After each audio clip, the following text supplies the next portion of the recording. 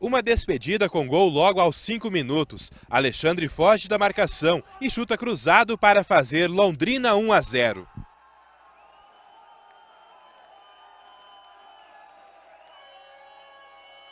A portuguesa pressiona, mas é o Londrina que marca de novo. Aos 38, Tony cruza pela direita e Alexandre, de cabeça, faz o segundo dele e do Londrina no jogo. A portuguesa desconta aos 47, contra-ataque da Lusa e Marquinhos tira do goleiro para marcar, 2 a 1. No segundo tempo, uma chuva de gols perdidos.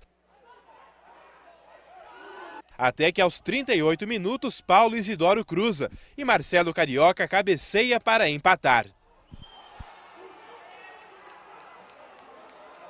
Londrina e Portuguesa ainda arriscam, mas o placar fica mesmo no 2 a 2. A nossa equipe, com todos os problemas que tem, suportou bem. Né? A, a Portuguesa teve mais volume de jogo no segundo tempo, mas era normal isso.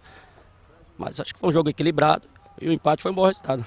O último jogo do Londrina neste ano será no sábado que vem, fora de casa, contra o Marília. Competição de novo só em 2005, pelo Paranaense e o Brasileiro da Série C. Torneios em que a presença do Londrina ainda não está garantida. Afastar a equipe do futebol por um ano é uma das propostas do novo presidente. Tempo para colocar a casa em ordem. Agostinho Garrote se candidatou em cima da hora e foi eleito no sábado para a vaga de Carlos Alberto Garcia, que renunciou.